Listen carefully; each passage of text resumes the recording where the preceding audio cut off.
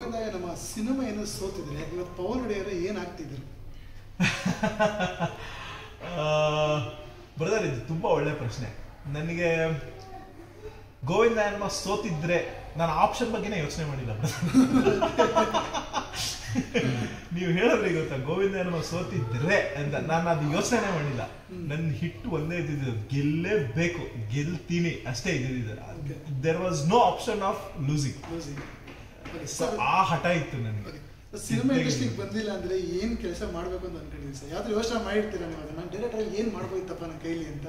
ನನಗೆ ನಾನು ಫೆಡಿಲಿಟಿ ಕೆಲಸ ಮಾಡ್ತಾ ಇದ್ದೆ. ಫೆಡಿಲಿಟಿ ಒಂದು M N C company Miller brewing company ಅಂತ ಅವ್ರ ಕ್ಲೈಂಟ್ಸ್ನ ಹ್ಯಾಂಡಲ್ ಮಾಡ್ತಾರೆ ರಿಟೈರ್ಮೆಂಟ್ ಸರ್ವಿಸ್ನ ಹ್ಯಾಂಡಲ್ ಮಾಡ್ತಾ ಇದ್ದೆ ನಾನು ಬೇಸಿಕಲಿ ಸೊ ಹಾಗೆ ಸ್ಟಾರ್ಟ್ ಆಗಿದ್ದ ಜರ್ನಿ ಬಹುಶಃ ನಾನು ಸಿನಿಮಾ ಇಂಡಸ್ಟ್ರಿಗೆ ಬರದೇ ಇದ್ದಿದ್ರೆ ಏನಾಗಿರ್ತಿದೆ ಅಂತ ನನಗೂ ಇವತ್ತು ಕ್ಲಾರಿಟಿ ಇಲ್ಲ.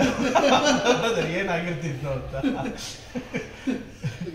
ಸರ್ ಗೆಲುವು ಸೋಲು ಸಮಾನವಾಗಿ ನೋಡ್ತಿದ್ದೆ ಏನು ಅನ್ಸುತ್ತೆ? ನೋಡಿದ್ದೀರಾ ಏನು ಅನ್ಸುತ್ತೆ? ಅಲ್ಲ ಗೆಲುವು ಸೋಲು ಸಮಾನವಾಗಿ ನೋಡೋದಕ್ಕಿಂತ ನನ್ನ ಪ್ರಕಾರ ನನ್ನ ನನ್ನ ವೈಯಕ್ತಿಕವಾದಂತಹ ಅಭಿಪ್ರಾಯ ಈ ಒಂದು ಪರ್ಟಿಕ್ಯುಲರ್ ಕ್ವಶನ್ ಬಗ್ಗೆ ನಿಮಗೆ ಸೋಲು ತುಂಬ ಕಲಿಸುತ್ತೆ ಬ್ರದರ್.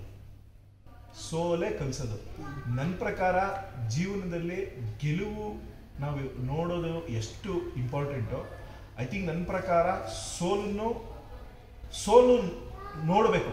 ಸೋಲು ನೋಡಿದಾಗ ಒಂದು, ಅದೊಂದು ರಿಯಾಲಿಟಿ ಗೊತ್ತಾಗುತ್ತೆ ಬೇಸಿಕಲಿ ಸೊ ನಾನು ಅದನ್ನ ನೋಡಿದ್ದೀನಿ.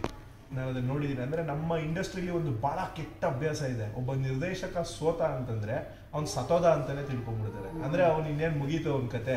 ಇದು ಈ ನಾಯಕ ನಟರು ಫ್ಲಾಪ್ಸ್ಗಳು ಕೊಡ್ತಾರೆ. ನೀವು why why do you differentiate like that okay so ನಿಮಗೆ ಒಂದು ಗೆಲುವಾದ್ರೆ ನೂರಾರು ಜನ ರೀಸನ್ ಇರ್ತಾರೆ. ಅದಕ್ಕೊಂದು ಇಂಗ್ಲಿಷಲ್ಲಿ ಒಂದು ಒಳ್ಳೆ ಪ್ರಾವರ್ಬ್ ಇದೆ. ಏನು success has so many fathers failure is an orphan ಅಂತ. ಸೊ ಫೇಲ್ಯೂರ್ ಆದಾಗ ನಿರ್ದೇಶಕ ಅನಾಥನಾಗ್ಬಿಡ್ತಾನೆ. ಸೊ ಅದು ಅಷ್ಟು ಹೊಣೆ ಅವನ ಮೇಲೆ ಹಾಕ್ಬಿಡ್ತಾರೆ. ಸೊ ಅದಕ್ಕೆ ಸಿಕ್ಕಾಪಟ್ಟೆ ಡೈಮೆನ್ಷನ್ಸ್ ಇರುತ್ತೆ. ಏನಕ್ಕೆ ಸೋಲ್ತು ಅಂತ ಕಾರಣ ಬರೇ ಬರವಣಿಗೆಯಿಂದ ಇಲ್ಲ ಬರವಣಿಗೆಯಿಂದ ಸೋತಿರ್ಬೋದು ಇಲ್ಲ ಕಾಸ್ಟಿಂಗ್ ಇಂದ ಸೋತಿರ್ಬೋದು ಇಲ್ಲ ಎಲ್ಲೋ ರಿಲೀಸ್ ಟೈಮಿಂಗ್ ಇಂದ ಸೋತಿರ್ಬೋದು ಇಲ್ಲ ನಾವು ಮಾರ್ಕೆಟಿಂಗ್ ಅಲ್ಲಿ ಫೇಲ್ ಆಗಿರ್ಬಹುದು ಈ ತರ ಸೋತಿರುತ್ತೆ ಹೊರತು. ಸೊ ಅದಕ್ಕೆ ಹಲವಾರು ಕಾರಣ ಇರುತ್ತೆ ಬಟ್ ಅದನ್ನ ಯಾರು ಯೋಚನೆ ಮಾಡಲ್ಲ. ಸೋತ ಸೋತ ಅಷ್ಟೇ. ಸೊ ನಾನು ಕೇಳ್ಕೊಳ್ಳೋದು ಅಷ್ಟೇ.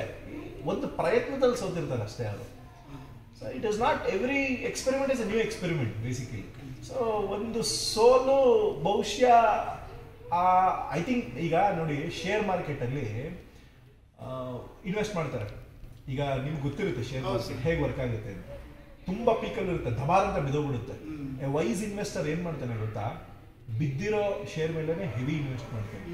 ಯಾಕೆ ಇನ್ವೆಸ್ಟ್ ಮಾಡ್ತಾನೆ ಅಂತಂದ್ರೆ ಕಡಿಮೆ ಸಿಕ್ಕುತ್ತೆ ಅದು. ಆಮೇಲೆ ಅದು ಬಿದ್ದಿ ತುಂಬಾ ಡೀಪ್ ಬಿದ್ದಿರುತ್ತಲ್ಲ ಬ್ರದರ್ ಅದು ಬೀಳದೆ ತುಂಬಾ ಎತ್ತರಿಕೆ ಇರೋದಕ್ಕೆ. ಸೊ ಹಾಗೆ ಅದು ಅದಾಗಬೇಕು ಆ ಮೈಂಡ್ ಸೆಟ್ ಬರಬೇಕು. ಎಲ್ಲ ಎಲ್ಲರಲ್ಲೂ ಒಬ್ಬ ಸೋತಿದ್ದಾನೆ ಅಂತಂದ್ರೆ ಅವ್ನಿಗೆ ಇನ್ನೂ ಏನೋ ದೊಡ್ಡ ಎಕ್ಸ್ಪೀರಿಯನ್ಸ್ ಆಗಿರುತ್ತೆ. ಆ ಎಕ್ಸ್ಪೀರಿಯನ್ಸ್ ಬಿಕಾಸ್ ಈ starting with some more experience so ಹಾಗಾಗಿರುತ್ತೆ. ನನ್ನ ಪ್ರಕಾರ ಸೋಲು ಗೆಲುವನ್ನು ಅದಕ್ಕೋಸ್ಕರ ನಾನು ಸಮಾನ ದೃಷ್ಟಿಯಿಂದ ನೋಡಬೇಕು ಅಂತ ಹೇಳೋದಕ್ಕೆ ಇಷ್ಟಪಡ್ತೀನಿ.